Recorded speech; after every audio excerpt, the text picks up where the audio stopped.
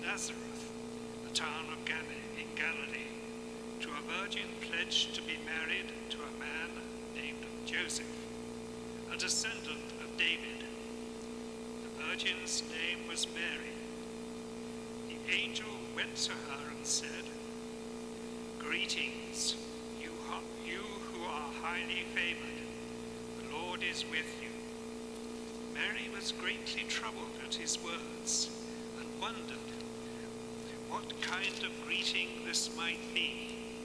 But the angel said to her, Do not be afraid, Mary. You have found favor with God. You will conceive and you will, and give birth to a son, and you are to call him Jesus. He will be great and will be called the Son of the Most High. The Lord will give him the throne of his father David, and he will reign over Jacob's descendants forever. His kingdom will never end. How will this be? Mary asked the angel, since I am a virgin. The angel answered, The Holy Spirit will come on you, and the power of the Most High will overshadow you. So the Holy One to be born will be called the Son of God. Even Elizabeth, your relative, is going to have a child in her old age, and she, who is said to be unable to conceive, is in her sixth month. For no word from God will ever fail. I am the Lord's servant, Mary answered. May your word to me be fulfilled. Then the angel left her.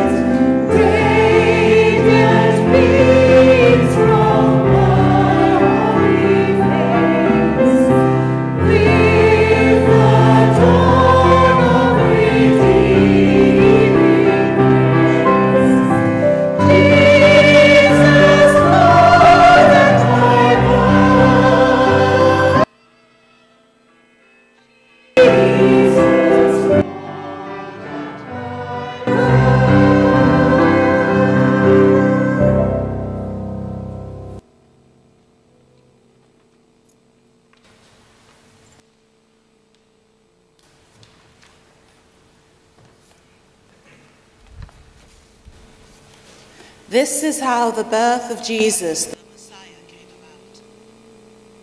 His mother Mary was pledged to be married to Joseph, but before they came together, she was found to be pregnant through the Holy Spirit. because Joseph, her husband, was faithful to the law and yet did not want to expose her to public disgrace, he had in mind to divorce her quietly. But after he had considered this, an angel of the Lord appeared to him in a dream and said, Joseph, son of David, do not be afraid to take Mary home as your wife, because what is, is conceived in her is from the Holy Spirit.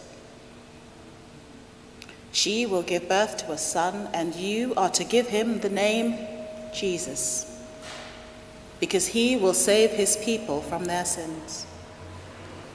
All this took place to fulfill what the Lord had said through the prophet The virgin will conceive and give birth to a son, and they will call him Emmanuel, which means God with us. When Joseph woke up, he did what the angel of the Lord had commanded him and took Mary home as his wife. But he did not consummate their marriage until she gave birth to a son. And he gave him the name Jesus.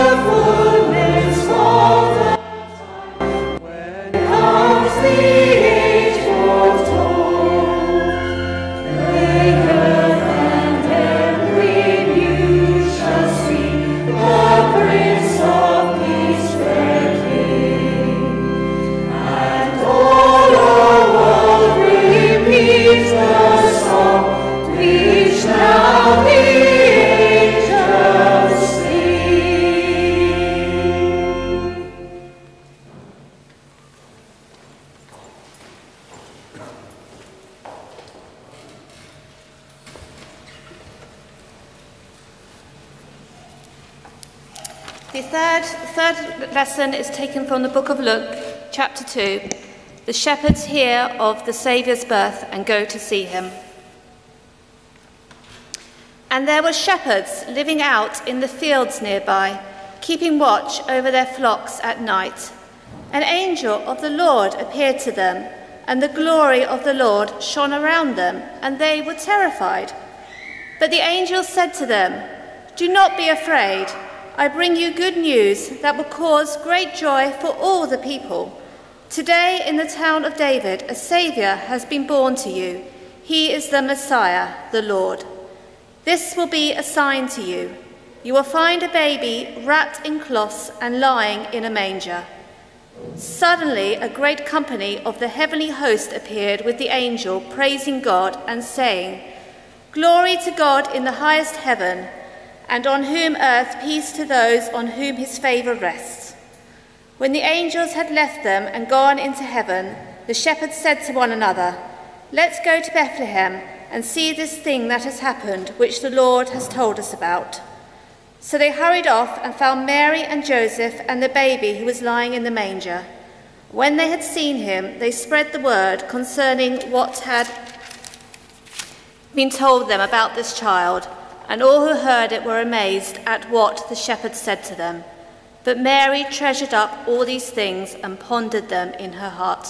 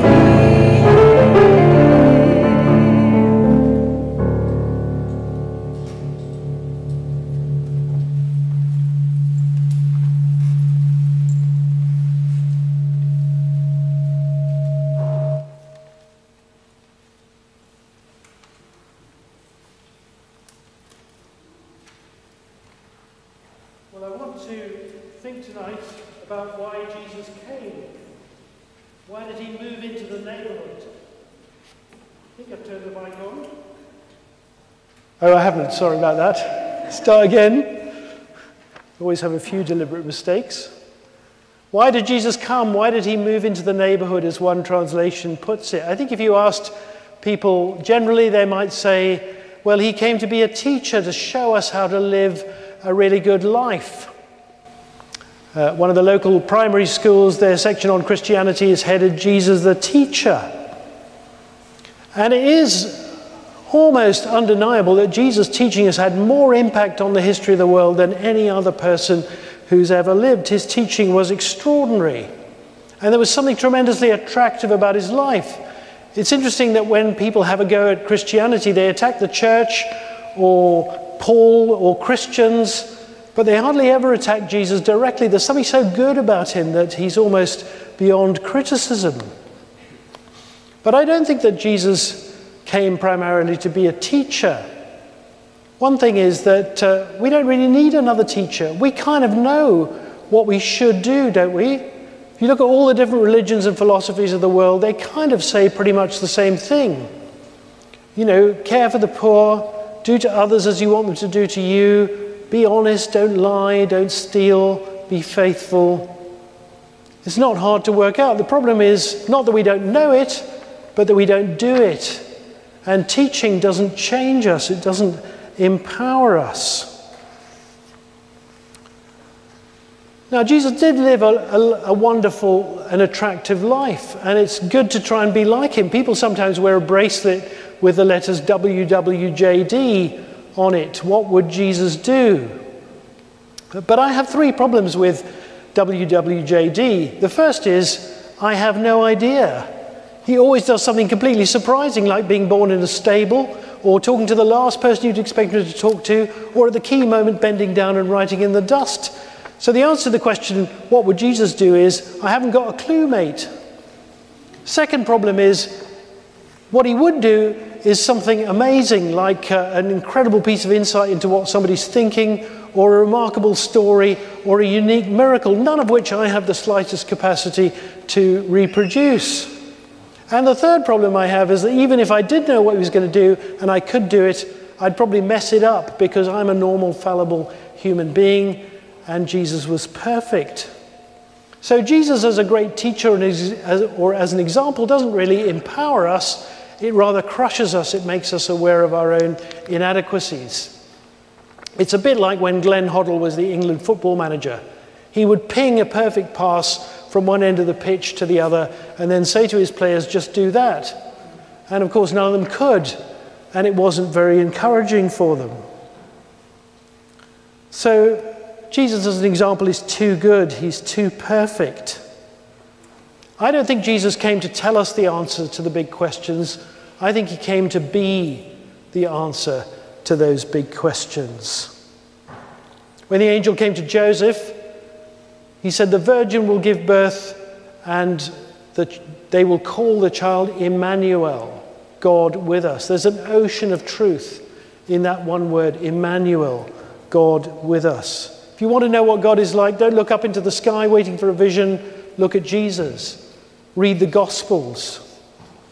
See what he said. In the beginning was the Word, and the Word was God. That's the beginning of John's Gospel, and that is Jesus, the Word. Well, maybe you say, I'm open to the existence of God. I'm 50 50 on whether He's there or not. But I need somebody to really convince me, to give me a perfect argument, and then I'll believe. And of course, people have tried that. Thomas Aquinas, 800 years ago, came up with five proofs for God. They're pretty convincing. But at the end, there's always room for doubt. We can never be sure, can we?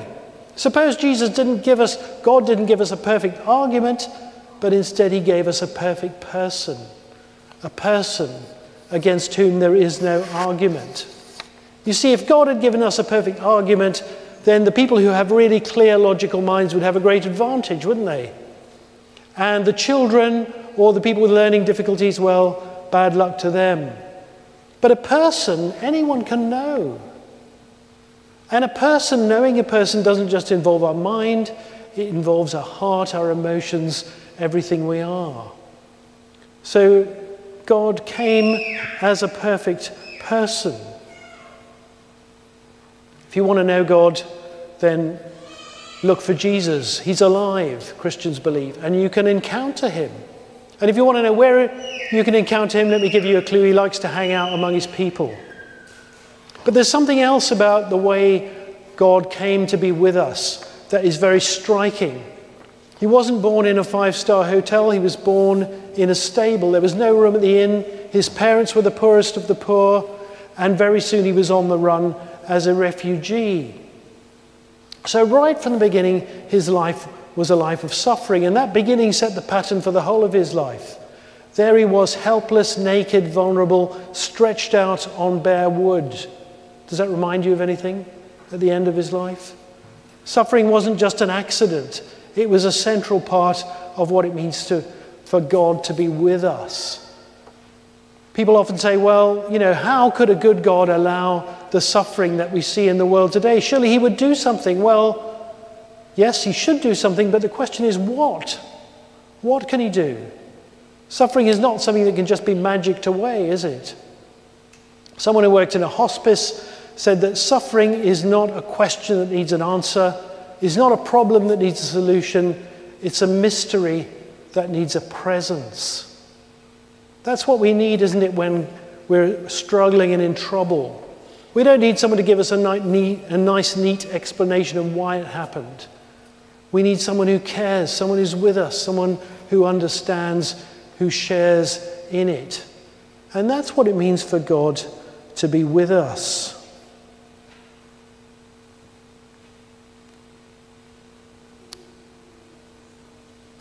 In the novel Life of Pi, the narrator, Pi is a Hindu, and he meets a Christian called Father Martin who tells him the Christian story. And Pi says, I couldn't imagine Lord Krishna consenting to be stripped naked, humiliated, mocked, dragged through the streets, and to top it off, crucified at the hands of mere humans. Even resurrected, the Son must have had the taste of death forever in his mouth. The Trinity must be tainted by it. There must be a stench at the right hand of God the Father. The horror must be real. Why would God wish that upon himself? Love was Father Martin's answer. Love. God with us.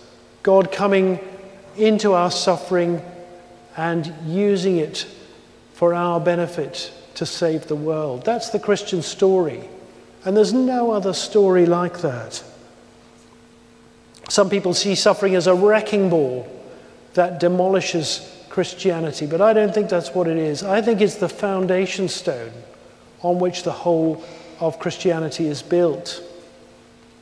At the end of his life, the disciples came to Jesus and they said, Show us the way.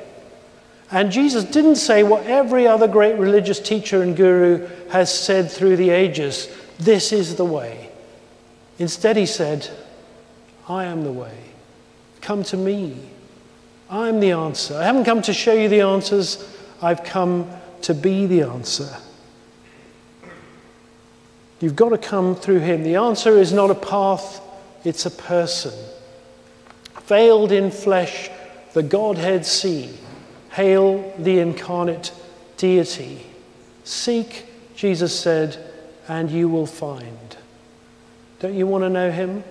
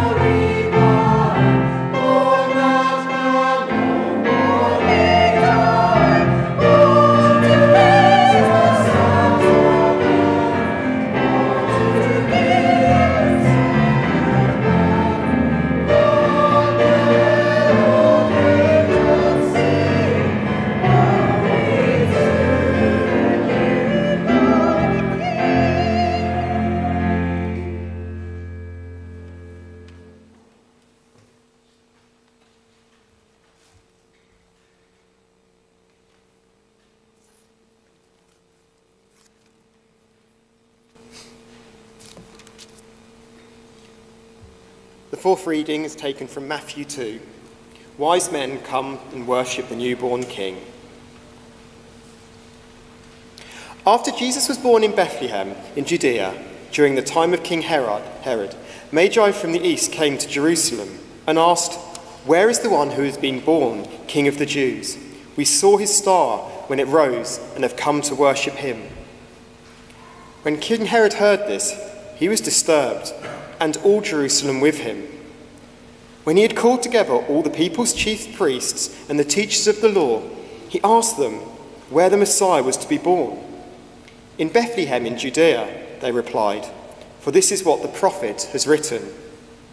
But you, Bethlehem, in the land of Judah, are by no means least among the rulers of Judah, for out of you will come a ruler who will shepherd my people Israel.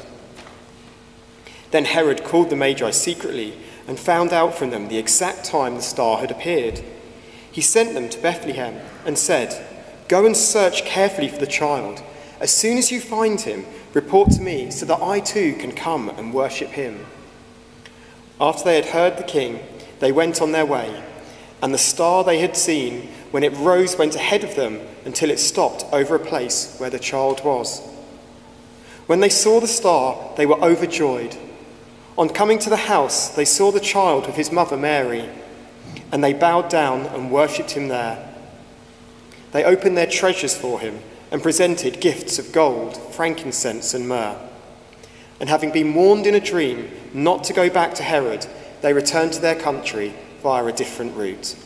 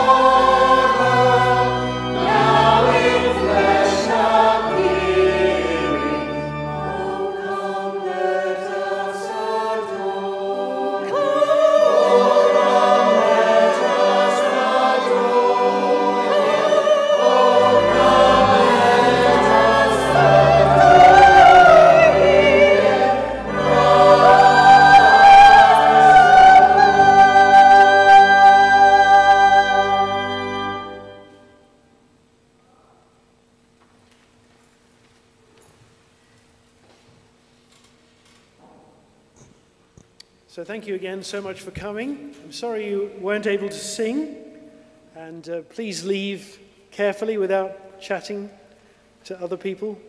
Sorry about that. Uh, there are quite a few gospels and other booklets. If you want to, they're all free, so do pick one up at the back. And um, do come again at Christmas. You'll see the services there. The only change to that is there won't be an 8 a.m.